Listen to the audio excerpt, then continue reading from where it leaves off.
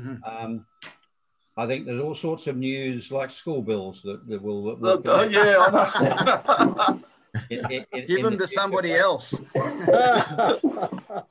But, oh, welcome to the welcome to the club, mate.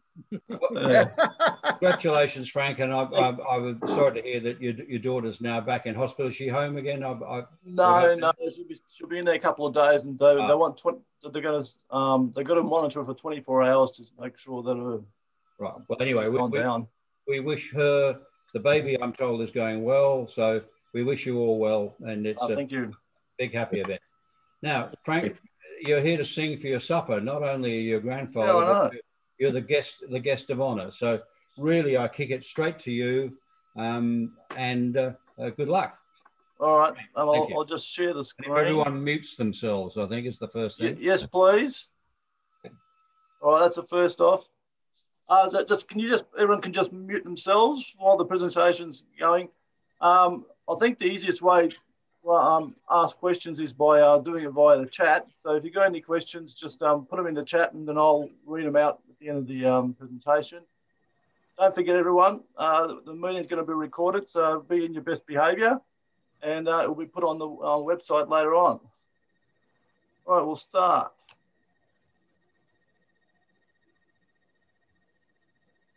Back. All right. Well, tonight's uh, display or presentation is uh, uh, Rod Perry's uh, large, oh, it wasn't large, it was a gold medal exhibit on commercial philately in Australia to World War One. The um, bits I'm going to present tonight is going to be the first 30 pages of the exhibit, which includes the early uh, philatelic traders. And I thought before we start, before I get into the uh, presentation, um, I should you know, give a bit of a background to Rod, you know, our late Rod. Um, Rod was one of the you know great innovators of philately in Australia. You know, he was always thinking out outside the square and trying to do promote philately, and so you know he will, he will be greatly missed. He was an encyclopedia of stamp knowledge, and which he always greatly shared with you know anybody that you know you asked him anything and you know about philately, especially especially um, his rates and uh, usages. He was a member of um, the RPSV for 49 years and, you know, just out, missed out on his 50, you know, 50 years after passing away in, in 2020. What started as a dealer by um, filling club circuits um, sheets yeah, for Brighton Philatelic Society. Um, at 23 years of age, started his um, auction, auction um, house uh, the A Perry Auction Galleries. Um, Rod was a phenomenal traditional, Rod, formed a phenomenal traditional collection of stamps of Victoria. Um, and this was awarded uh, large gold and um, the awarded the Grand Prix at the um, 1984 Melbourne International Exhibition. After Rod um, sold his Victoria collection, his uh, collecting interest drifted, and that they drifted towards covers and postal history. And uh, Rod's probably uh, one, one of the main uh, dealers who um, revitalised the interest in first day covers and also established um, an interest in usage of stands for the intended use and often unintended use. All right, we'll start in the early years. Um, a paragraph in the uh, Australian Stamp Journal on the 20th of October 1911 had a comment on it that says, so far as Australia is concerned, there are gentlemen who assert that they began philately as far as 1863. The, the letter on the um, on the right, dated 1863, corroborates this claim, referencing stamp collecting in Victoria. And I'll read you a couple of paragraphs from below because you can't read it on screen. And it's uh, the, the, the writer stated, I'm collecting foreign stamps for Miss Wentworth. If you should happen to meet with any you don't want, I should, I should feel extremely obliged if you would send them. And then in the postscript, I had a few lines to say that that I have received your very kind letter and also the Melbourne Post, for which I thank you very much. I was much pleased with the foreign stamps and any more you can send and really send that you really don't want will be great, gratefully uh, accepted. Now, um, the, the letter was addressed to an RJ Sincock, and at the time, RJ Sincock was only 15 years old, and he only lived another five more years. Mm.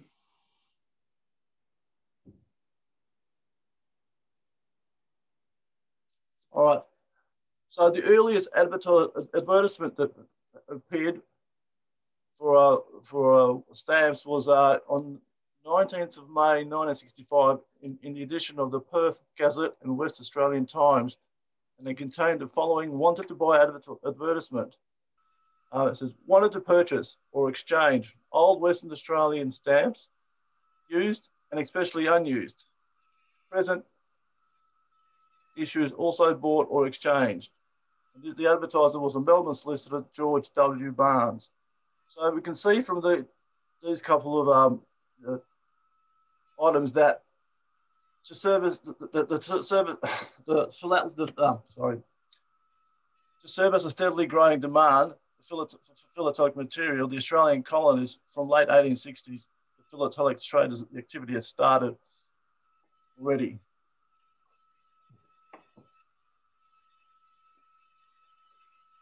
Also, you know, the colonial post offices, you know, they were suppliers of philatelic material. Um, they were the first suppliers actually, and um, and they had an effective monopoly. They were supplying stamps to you know, to the fledgling new issue services abroad from the early 1860s, and as can be seen with the uh, Postmaster General's uh, envelope there, in 1873, um, the sorry, the, the cover is, is um, 9th December 1873, um, and it was registered to William Lincoln, who was a commissioner agent and a dealer in foreign stamps in, in the um, in dealer in foreign and colonial stamps.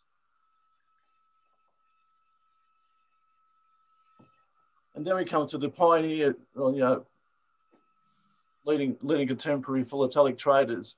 Um, Buckley, Blomsden and Co. in Sydney, New South Wales have probably got the, uh, the title of being the earliest professional philatelic traders. Um, they had come on the scene in 1870. It was, it was formed by Edward Buckley and Edward Blomsden, claimed to have been established in 1870, like I said, in Sydney. Buckley is actually recorded as being in business in the late 1860s. Blomsden was advertised in his own right to buy and sell stamps as early as 1870. Uh, the firm in 1879 perhaps, perhaps published Australia's first philatelic journal, New South Wales Stamp Collectors magazine. And when at 6 Bligh Street, Sydney, they traded as the Sydney Foreign um, Stamp Depot. And as can be seen um, in that, that top uh, example is, uh, is an 1881 innovative address label which has the Sydney Foreign Stamp Depot simulating um, a contemporary stamp album. In March, in March 1882, visitors were sold to uh, Dawson A. Vinden.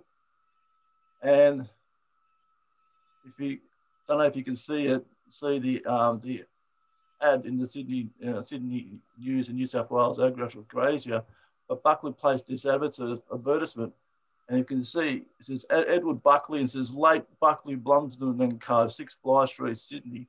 So kind of leads me to believe that um, the partnership between Buckley and Blumsden had already been uh, kind of in on, on, on the rocks.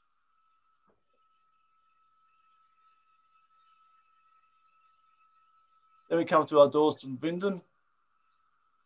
Um, Vinden had been apprenticed to Buckley and Blumsden and Young by 1880. By March 1882, Dawson Vinden, um, at, at, the age of uh, 14, become the firm's um, new proprietor. Mm-hmm. And with the acquisition um, came, the, came the publication of the New South Wales Collectors Magazine, which um, he later renamed Vinden's Philatelic Monthly. And as, you can see, there's a, there's, there's a picture of uh, Dawson Vinden at age 24. And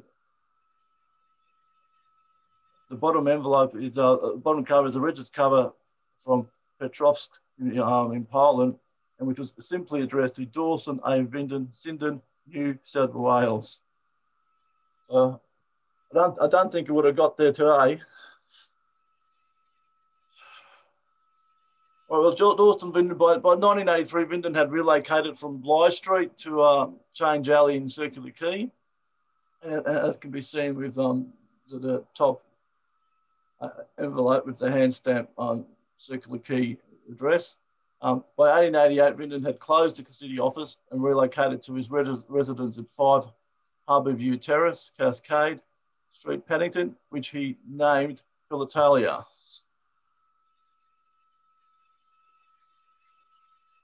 Hang on, just I think someone's trying to come in. I don't know.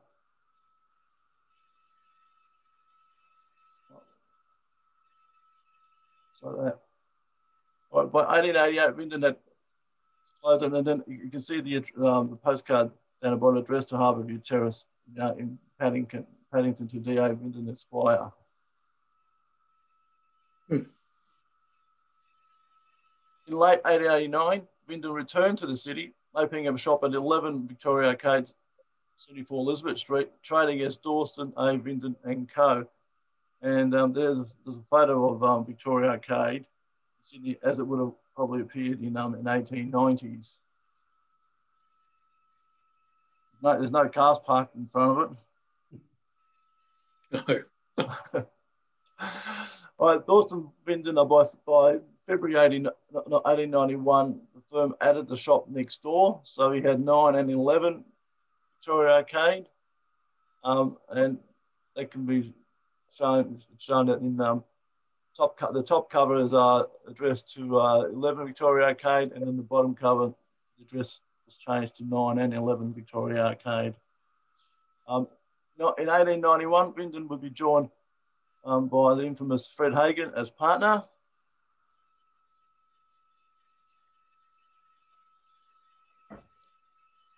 in um, the 1st of October 1893, Vinden Philatelic Monthly, Fred had become, uh, it was announced that Fred, Fred Hagen had become the sole proprietor of D.A. Vinden Co. And it's interesting that the notice said, I have this day disposed of my interest in the firm of D.A. Vinden Co. To my late partner, Mr. Fred Hagen, who will carry on the business of the, therefore receiving all debts due and discharging all liabilities in connection therewith. I'm proceeding to London on the 27th to open stamp business in my own separate account, but will act as sole European agent for the Sydney firm and will be also regularly contributing to the monthly. And I might add that any Australian business will be consolidated in conjunction with the, conducted in conjunction with the Sydney firm.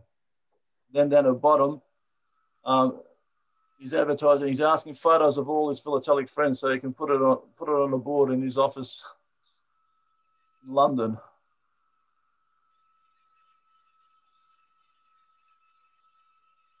All right, then we come to Fred Hagen. And as you know, um, part, he was partnered on 25th of July 9 with Dawson A. Vinden Co. His business um, had descended from um, Sydney's earliest philatelics, Buckley, Blomsden and Co. And then, and um, and he became the sole proprietor of Vinden & Co. on 1st of October 1891.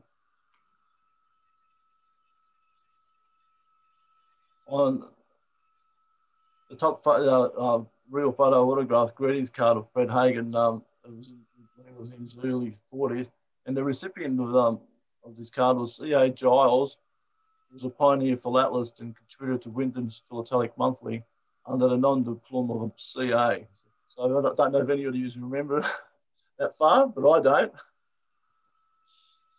Um, and then the bottom cover is um, dated the 27th of September 1894, which, is, which was uh, sent to the US showing um, the corner inscription in use by a Dawson named Vinden Co. revised to reflect Hagen as a tra- you know, sole trader in his own right.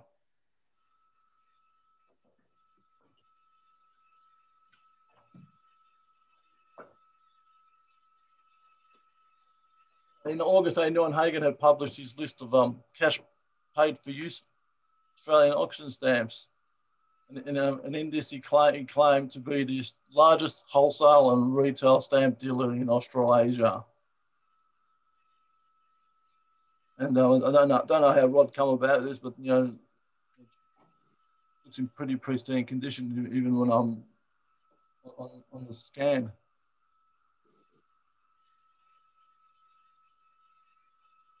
Uh, right, months after acquire, acquiring, acquiring the Vinden interests and Vinden's Philatelic Monthly, uh, Fred, ha Fred Hagen renamed the journal the Australian Philatelist, and the inaugural issue appeared in um, August 1894. And this was, it was destined to become the dominant force in Australian Philately for the next three decades. Um, in, in the advertisement on the right, there's, there's, a, there's a combined advertisement for the Australian Philatelist and Fred Hagen Limited, which appeared um, in the Philatelic Society of New Zealand 1911 annual report.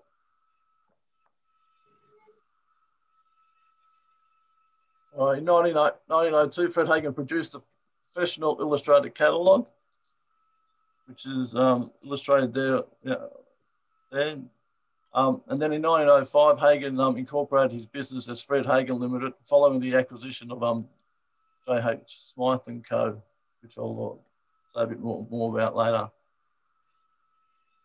By 1911, Hagen had moved to 182 Pitt Street, and um, Hagen used these uh, seals on the back of his envelopes, and um, and uh, there's a few collectors out there that are collect these seals and try try to get you know what all the different printings and uh, and Rod had a few of them and uh, ones I'm showing here are the two that um stood out and uh, the one the one the, the top one is the red seal which is dated, uh, dated January in 1911 which is the earliest use of the red seal.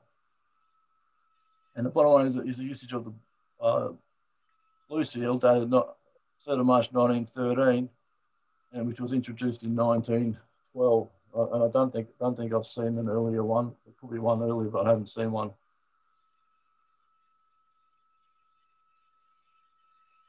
Right, Fred Hagen became, became um, the Australasian, Australasian agent for Stanley Gibbons um, in 1913.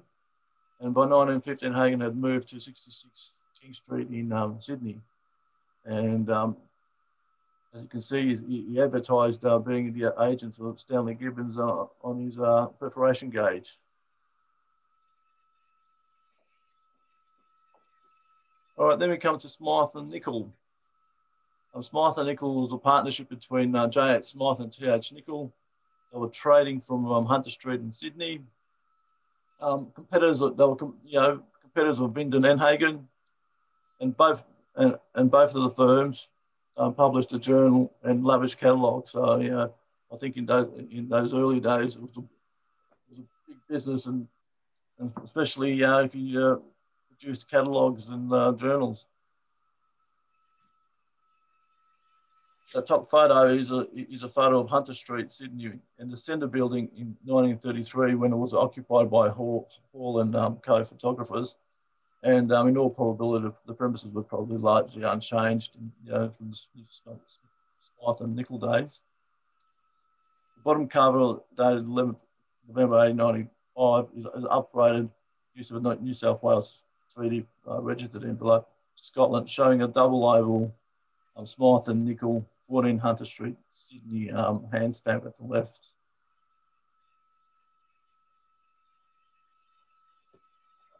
In 1989, Smythe Nicol published the first in their series of price telegraph of Australian stamps. There's an illustration of the first one. Smythe and Nicol were one of the two philatelic traders at the 1900 Sydney Philatelic exhibition, the other being Fred Hagen. You can see the illustration of the stand which appeared in um, the Australasian Journal of Philately. And there was a comment um, made in the journal that uh, there was there was there was there was two two philatelic traders at the exhibition, and the other the other traders commission was very very much smaller than ours, That was that was written by Smythe and Nichols. right, during the 1900s, Smythe and Nichols graduated from hand stamped to uh, printed stationery, and um, as you can see, the 16th of August envelope, the top envelope was um, the, oval hand stamp, and then the uh, printed one down the bottom from 1901.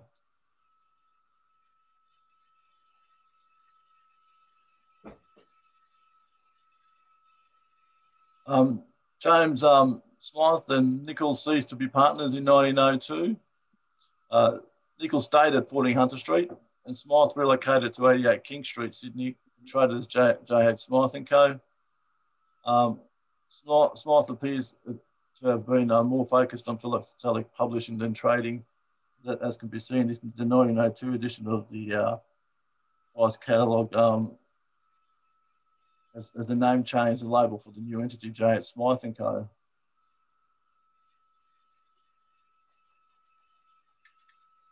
You know, the 1903 um, edition of the Illustrated Price Catalogue had the Giants, J.H. Smythe and Co. Um, heading.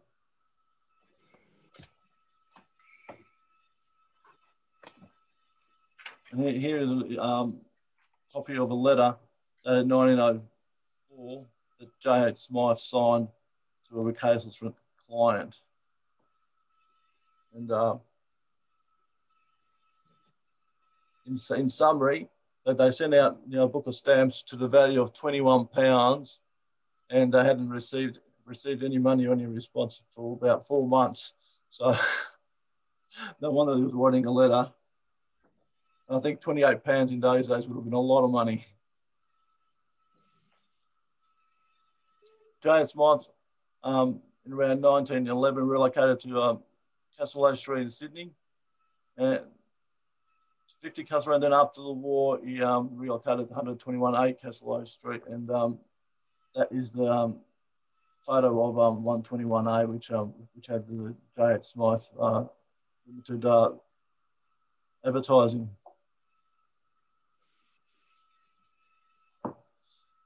Well, upon the death of Smythe in 1923, uh, employee Edith West became um, director. Um, and then two years later, Romney Gibbons joined the firm as, as a director as well.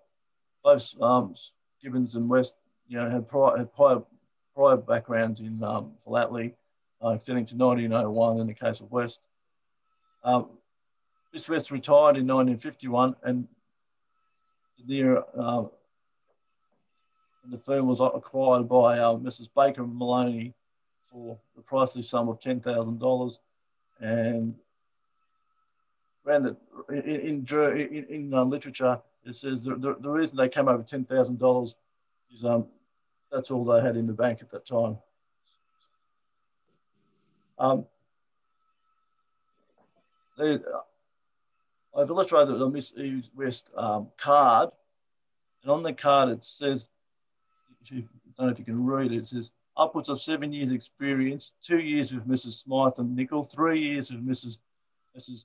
J.H. Smythe and Co., and two years with Miss Fred Hagen Limited, during which time I have been almost continually handling and studying Australian stamps.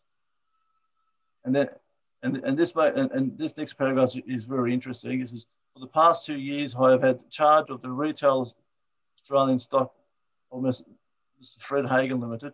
I took an active part to the preparation of the firm's latest catalogue and a large proportion of Australian stamps sent out on approval prepared by me. In addition, I've mounted a large number of stamps. And then the last says, for seven years, I've been a short, shorthand writer and typist. And during that period, the majority of letters signed by Mr. J.S. Smith were typewritten by me. So it leads you to think that letter that was previous letter, that letter, you know, maybe it wasn't signed by J.S. Smith, it could have been signed by Miss West. All right, and Thomas Nicol, um, the other partner of Smythe and Nicol, remained at 14 Hunter Street for at least a decade. Uh, was amongst a few early philatelic traders to provide correspondence in French and German to overseas markets, as, as can be seen on the um, envelope there. Um, and the cover on the right uh, contained, you know, would have contained probably uh, current offers of uh, price lists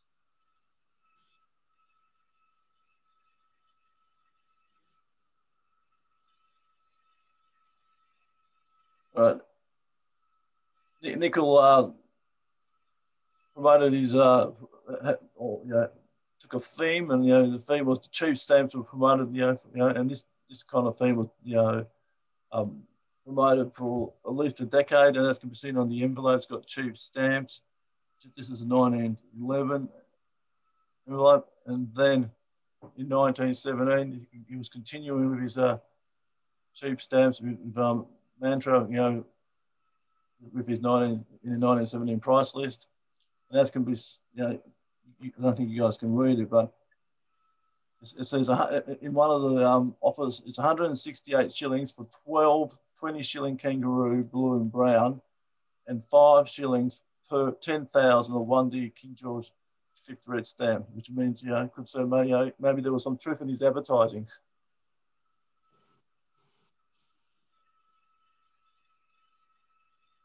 And here, um, here we um, illustrated um, the, the 1912 um, illustrated price list, which was published after Nicol relocated to 105 um, Pitt Street in Sydney. As can be seen, all these dealers, I must they move so so many times. I don't know how, how they kept track of their stock.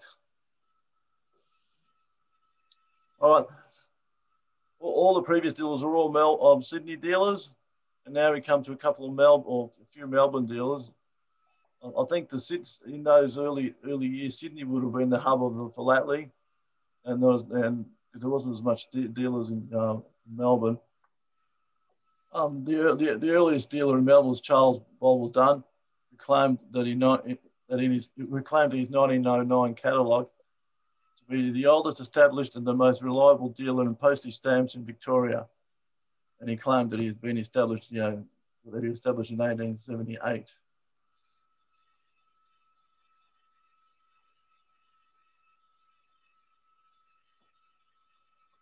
Dunn was originally at 59 Elizabeth Street, Melbourne, and um, the cover on top is an 1887 cover. This is a 2D envelope when um, Dunn was at 59 Elizabeth Street. And um, this was addressed to um, Tasmanian philatelic trader E. Granville Miller in Launceston. And then around 1899, Dunn relocated to 346 Collins Street, Melbourne. And the postcard at the bottom, dated 16th of February 1899, was signed by Dunn when at 346 Little Collins Street and was addressed to a pioneer philatelist, Reverend, Reverend H.W. Lane of Lara, Victoria. Don't know if any of you guys know any, any of these philatelists. And then we could probably come to one of the more infamous Melbourne dealers, uh, William Ackland, who migrated from the UK to, to Melbourne in um, 1895 at the age of 20. Within a year, he bought the business of Wallace Stamp Company, which was established in 89, which was established in 1890, and um, they were a UK, uh, a UK firm, which had, had, had um, an office, or you know, had a retail store in Melbourne. Ackland was one, one of the foremost um, Australian philatelic traders, publishing his own extensive price catalogue as well. And he was he was the senior member of the uh, of the charter or senior charter member of the Australian Stamp Dealers Association, which was founded in 1948, which is which is APTA. And, and there's a um, photo of Ackland in his in his late life, and also um, perforate, a perforation grade, which is described for William Ackland and supplied by Peerless Hinges. And uh, Ackland um, used a lot of Peerless um, uh, hinges, perforation gauges, um, glassed envelopes, and things like that. Ackland resided in South Yarra initially, but, and traded, you know, from a GP, or traded as a GPO box Melbourne. And then in later, in, in the later part of the 1890s, Ackland relocated to 162 Elizabeth Street, Melbourne. The top cover uh, is a hand stamp of his, with his GPO box, Melbourne, um, 1993. And the, bot, and the bottom cover is uh, stamp with his, 100, with, 100, with his Elizabeth Street address.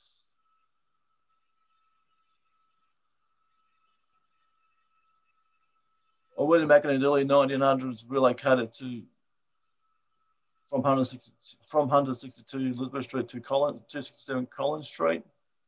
And there's examples of some, you know, stamp packets, pocket stock books, and glass and packets in use at the new location. Don't know if the dealers still use pocket stock books. sell pocket stock books to people. Right, in early 1928, Ackland relocated to the um, Alston's building at the corner of Collins and Elizabeth Street, Melbourne. Um, and there's a photo of the, um, the Alston building. Uh, Ackland trained for this from this building for decades, you know, and uh, you know, talking to Rod in his, you know, early days, he said, you know, used to go in there when he was, you know, in 1959, he went in there to buy, to, to go and buy a stock book and um, he ended up coming out, you know, a lot more than a stock book. So Ackland must have been a good salesman. And that brings us to the end of the uh, presentation. Thank you all guys for um, listening. And uh, I would like to thank um, Richard Jusman uh, for allowing the RPSV access to the exhibit. Um, Richard purchased the exhibit from the Rod Perry estate and um, his ulterior motive was um, to not have the uh, exhibit broken up now, if it was, a lot of the philatelic trade of history would have been would have been lost. Um, and the whole exhibit will be uh, eventually be available on the uh, on the website when I finish scanning the 128 pages. All right, thank you. Thank you, Frank. Well, well done. Now, I would just like to say just a few words. Uh, echoing the comments about Rod, uh, July this year, Rod would have made his 50 years of, of, of, membership. Um, it's our plan to have a 50 year membership lunch in the middle of the year. And we will certainly be, be noting Rod. He won't be one of the people, obviously, that we'll be specifically honouring, but uh, uh there'll be an honourable mention of his, his role and his, his near 50 year membership. Um, that's an opportunity just to say, by the way, that uh, social events like the 50 year memberships um, and the uh, um, bourse are going to go to the middle of the year because we just think it's safer that uh, by then a lot of vaccinations will have occurred. And we just feel that the idea of social functions, where the whole essence is of people getting slightly closer than 1.5 meters, um, um, will be much safer by the middle of the year. So that's the plan. But that's an, an aside. I've got, found it interesting that Rod, who I imagine has collected this right through his collecting era, because it would have taken a long time to, to have assembled. Um, the fact that he's got covers, um, he's got ads, he's got um, uh, perforation gauges, catalogues, etc., etc., um, shows the breadth of what he was digging up, and obviously following the philatelic trade, and obviously he was uh, a, a, great student of it. Um, I think it's something that's very good that it's going to be kept together in, in one piece, and you've only seen a small part of it presented by Frank, who went to a, a lot of trouble by the way, Frank, a couple of your years were out by 100, but um, you're putting 19 instead of 1895. But uh, uh, we all knew what you meant, so it's not a, not a problem. And a pedant like me would have picked you up on it. um, but uh, one of the questions that comes to me out of what we've seen was the gap between the 1860s and then the 1880s. So that's a, a question. I don't know whether there's up more material, and Frank, in a minute, you might want to answer about that.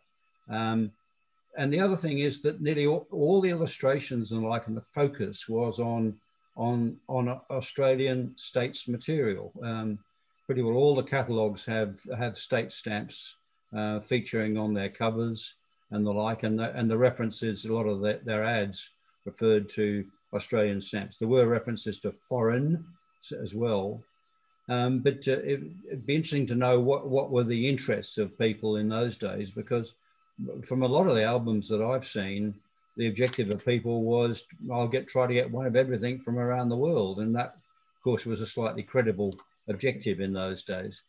No longer. But I, I thoroughly enjoyed it. I was interested that that Melbourne seemed to be slightly later than Sydney. I wonder what, what, whether there's a why or wherefore of, of why that might have been. Um, but uh, certainly Sydney's got into it very early in the piece. And of course, collections like the Vickery collection, which were formed, um, I think, around the 1900s. I think, I don't know whether Ian yep. Gregg knows better uh, uh, about the 1900. Uh, yep. Phenomenal collection. And if anyone goes to the Powerhouse Museum, um, whilst it's still at, at, at, um, um, in Ultimo, um, you can get a chance to try to visit it by a prior arrangement. But uh, the collection that she made, no doubt with the help of these dealers, uh, was absolutely fantastic. The, the, quality of the Mauritius is uh, blows your mind. So, Frank, you've gone to a lot of trouble selecting out of that material. We've got quite a bit of it up our sleeve. It's good, it's good that the, the entirety of it will go onto, onto the website. But Frank, you've gone to a lot of trouble uh, producing it for us. And I'd like to thank you on behalf of all of us for going, going to that trouble. Um, so, and I will, by the way, speak directly to Richard, who I think at the moment should be in Tasmania, but whether, after what happened last week, whether he is in Tasmania, I don't know. Um, and thank him on everyone's behalf for giving us access to this material and the ability to show it and to put it onto our website. Anyway, Frank, if people can join me, eh, whether in the privacy of their home or whether they want to unmute mute themselves and, and thank Frank in the usual way. John, uh, could you. I just say something about Rod Perry? I, I have a feeling that Rod um, got Charles Leski and Gary Watson off on the track of um, this, um, doing the stamps. I think they joined Rod in the very early days. I, think I, I know Gary Watson did. Yeah, I'm pretty um, certain Charles Leski did yeah, too. Because um, I I took Gary to the, to uh, Bill Wells's funeral, and we were talking about Rod in the car, and um, Gary Gary Gary was a um, it was a lawyer, and um, he, he got he got offered a position to do um, conveyancing, and uh, he didn't like doing conveyancing, so he preferred to do stamps, and he had an interview with Rod Perry, and had, a, had an interview with Rod Perry, and two weeks later, he went on a, on, on a conference to Hawaii. And when he came back, he had a phone call from Rod saying that he, you know, he got the job, and um, and, and Gary's been in philately ever since. Got a lot to answer for, then, hasn't he? Yes. Good and bad. Yeah. I can remember going to Rod's shop just off the Bourke Street in Melbourne, 1970, 71 or something when I was at still secondary school. Yeah, that's when he started his auction house yeah. auction in 1971. It must have been 69, 70, then I went to his shop. Little little room he had. It was interesting to me when you went to a stamp exhibition, you'd find Rod there. This is in, talking in this in a very recent uh, time, and he'd have a big box of, of covers in front of him, and he was as happy as a sandman. Oh yeah, he thoroughly enjoyed flicking through, and he would find amazing things inside it. Um, but uh, he enjoyed his philately right to the end, so that was wonderful. Any other uh, uh, comments? Now, what I, th I think one, Ian Sadler did ask the question about what was the focus for collecting in those albums, and I, I, I try to. It was, most, it was mostly it was mostly colonies. Yeah. Some some had Fiji, Tonga, and things like that, but it was mostly colonies in Australia and Pacific Islands. Yeah. Yeah. Can I just uh, say a few things? Yes, please. Uh, during the meeting, I had a phone call from my son, so I had an unstable internet connection for a fair portion of that since then. So I guess I should switch my phone right off while I'm watching these.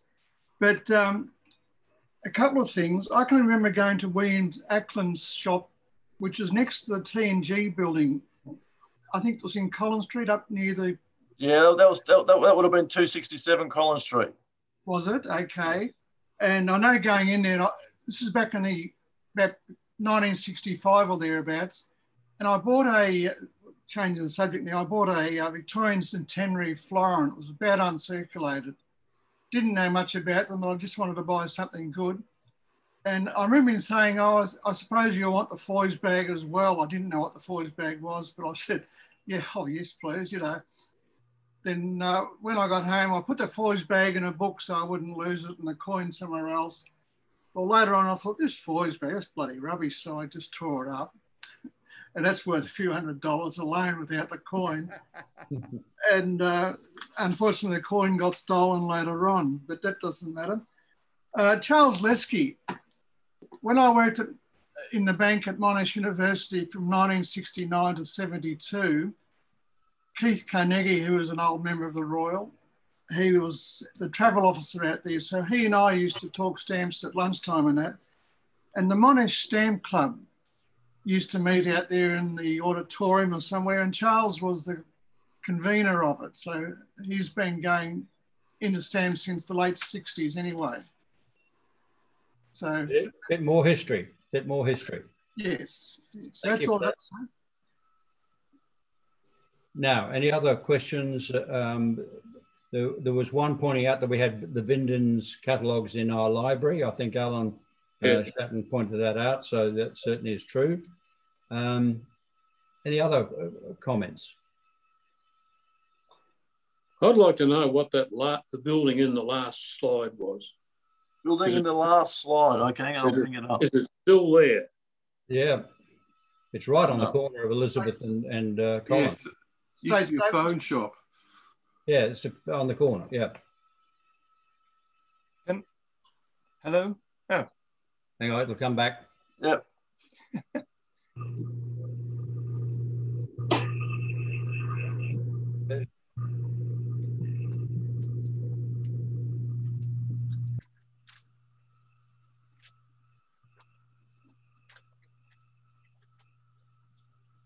That one.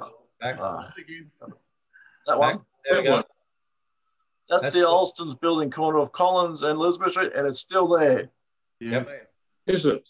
Yes. Now, they always say they say of Melbourne, you should look up to Melbourne, and then we will happily walk with our heads down at the bottom of that building. Because um, I, I did I did a, I did a Google thing on it when I was when I was putting this together to see you know if it was you know if it was still there, and it is still there, and it doesn't doesn't look much different other than it's got a few big tall buildings on either side of it now.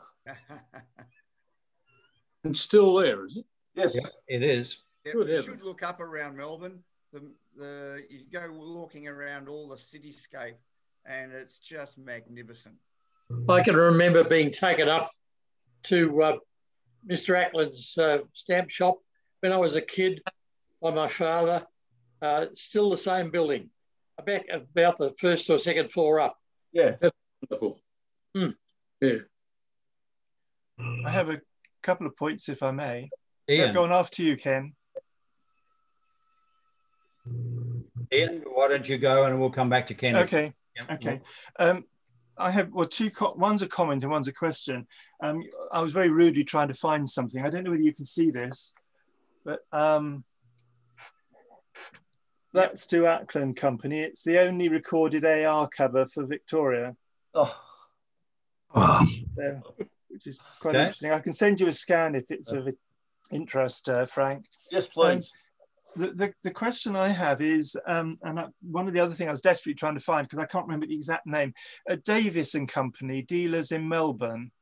Are you familiar with them? They had a square. Yes, is. They're, they're, yeah, they're, they're, they're in South Melbourne.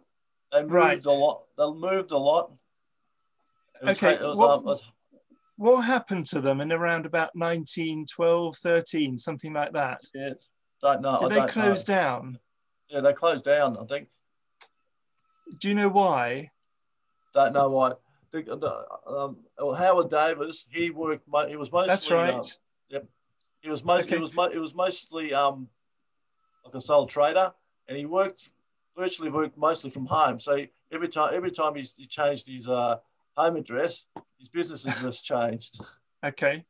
Well, I can. Uh, there's a very interesting information about this, and I would be interested if anyone has anything further. I'll take my hand down. Um, when he, this is very recent, and I don't know how many people know about this, and I don't know the full story. But when he died, all his stock was shipped over to the UK. And it's been in someone's attic until the last three or four years. Oh, geez. and in the last three or four years, vast quantities of Yeah. uh, Victoria material of the postage period have been coming on the market. Large blocks of perf 11 and the double perfs, imperfs, and all sorts of things. And I am told that the very elderly gentleman who only died last year, who inherited all this material, had been shipping it out of his attic in bulk, and it being it was being selling sold on eBay. It was sold through dealers in in the UK, and a lot of it is coming up in auction. And then, uh, Gary is around somewhere. Gary, I don't. Are you aware of this? And have you? Um, uh, uh, were you aware of this? Uh, It's very interesting because there are large blocks of threepenny, late threepenny, double perfs, Yep. uh, perf 11s. A lot of the ma- lot of the so-called rubbish material that came out of the Melbourne of the Victorian Post Office at the very end during 1912, all the stuff that they'd held back because it was damaged or semi-damaged seems to have got into um, this, this gentleman's stock, and it's been sitting there for donkey's years and has only just come to market. I don't know whether anyone else had observed this, and I've got this through a number of British dealers who've actually been dealing with this material, Yeah, and I actually saw the stock book have of Gary, Gary's reaction to that? Yeah. Sorry, well, I just say I, I actually saw the stock book of the postage due material, which had large blocks of cancelled to order values, which I actually acquired from the stock book. But Gary, I don't know whether you know anything about this or whether you can add anything. Uh, I've seen it, some of some things come onto the market, and I was wondering where has this been hiding? Um, Yeah, And there's the answer. exactly. I've never seen some of these things before. No, th- th- they've only literally come on the market. Clearly, um, they weren't recorded earlier. Um, I think this is where some of the double perfs on the tuppenny halfpenny value postage have come from, because I think they're all from this source. Mm, mm. Thanks, I'd agree Ian. with that. Okay, over to Ken Scudder, please. Ken. Will you unmute yourself? Yeah, no, okay, I've unmuted myself, yes. Yeah. What, what do you want to say? What do you want to? I Comment. you wanted to ask something. I want to ask something. I thought you did. That's, that's No, no. I'll make a comment though. I, I thoroughly enjoyed that. Um, there was one dealer in town, and I remember going to. They're closed down now, but I can't remember their name. Um, they weren't mentioned there. No, Uh, there's, there's, many Rod- years. Rod- sorry. Go on. Depends on how old Rod, you are. Rod's Ken. got Rod's got uh, 65 pages of, of other individual dealers that are that's for next time. Oh, okay. Well, maybe I ought to reserve the comment Thank, thanks, Ken. their name then. But I enjoy. No, I just let's say I I thoroughly enjoyed this uh, meeting, especially as I can't normally get up to a Thursday evening meeting. But I hope to get along to the next day meeting. Okay. Any other questions, comments? Okay, well, let's, we'll just revert back to the, the, uh, the uh, agenda such as we have, which is all very cursory in these, in this situation. The minutes of these meetings will be uh, addressed when we can do that. Uh, we've got a new um, member, um, Dr. Susie, Su- no, I won't, won't pronounce this correctly, Siratharan, which sounds like a, a, Sri Lankan uh, um, name. Um, and Dr. Susie uh, appeared at the day meeting the other day. It was, uh, she converted her membership into, into attendance in about the shortest time that I can ever remember. But uh, so that was wonderful that we, that we saw her. Oh yes. ahead for forthcoming events. Uh, towards the end of the month, two things are happening. Firstly, on the 27th, the library uh, is going to be open. Um, I see no reason, or we uh, see no reason why that can't go ahead.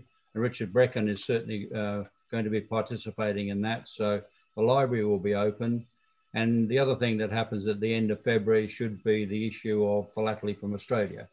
That's been part of the glue that's been keeping us together over this difficult year that, uh, that's gone by. So look forward to the next edition of Philately from Australia. Um, then on the 2nd of March, uh, Graham Plaw, uh, Australia, this is a day meeting, sorry, on uh, KGV on cover. Um, the Postal History Group is on the 10th of March at 7.45, delayed mail, um, and that will include censorship. So anyone who uh, would like to offer censorship items, that would be there, but uh, any other ways that mail has been delayed, um, that would be uh, uh welcome on that evening. But uh, anyone who's been to the Postal History Group knows how flexible we are and we will accept many, many things under many guises. Within limits. I'm sorry? Within limits. on the 18th, on the 18th of March, the philatelic me meeting, Gary Diffin, Australian Colonial Mail, the return to steam, and I'm really looking forward to that one because it's a, sort of a period that uh, that uh, overlaps my area of interest. So, Gary, we look forward to see, seeing you on the, hopefully, if all goes well and uh, COVID permitting, but uh, um, I'm very hopeful that our government will, will see the way that uh, any further outbreaks are handled in a slightly different way to the last one. But anyway, that's a political statement, and I don't mean that diminutive. um, I mentioned that the Bourse has been delayed. Um, oh, I should also mention on the 15th of March, the Australian Philatelic Society is asked to have access to our building. Ian Sadler has asked this, and we've been only too pleased to say that they are very welcome. Uh, it's on the evening of the 15th at 7.45 and John Young is presenting Australian Express Mail. And Ian, I believe it's true to say that guests would be welcome on that evening. Um, but if they should contact you first, that would be, be, be ideal. But uh, very glad that you can use, use the building. Well, that's all that I have. Before I close, um, any, any comments from the floor, any uh, other items that people would like to raise? By the way, I think we only made 19. So yeah, didn't get 20. Uh, but still, we had people that we were certainly would not have had if we were meeting in the premises. So that, that's, yeah, that's, right. uh, that's a good. good result. It's a good result. We had 20 for a couple. Sorry, where was that voice from? That that's less. We that, had that you, Lester? Yeah, I had 20 on my screen for a short period of time. Yeah, we had 20 for a short period of time because it was a late comer. Okay, well, that's it. So, Lester, Ian, thank you very much for attending. We're very glad that everyone attended, but uh, people who, who un unusual hours attend are particularly welcome. So, thank you all for coming, and I hope you've enjoyed your evening. And I would like to say tea and coffee is available, and I think I can, on this occasion, say that with, with or something harder if you wish. Or a glass of wine. John? Yeah? Can I just make one final comment? Yeah. Uh, I think Ian Gregg should be congratulated on having not one but two elephants in the Zoom. I've also got I've also got um, uh, emu eggs. If you see. Oh, I used to have an emu egg, but I don't know what happened to it. It probably, it probably Dan's place. It hatched. it might have hatched out and kicked your dunny down well, I must say, I had it in England and it disappeared when we came to Australia, so possibly it is the same one. It didn't survive. Okay. On that on, on that humorous note, thank you all for coming and I hope you've enjoyed your evening. Thank you. Yeah. Thank you. Good night, everybody. Thank Good you. Night. Thank you. Good night.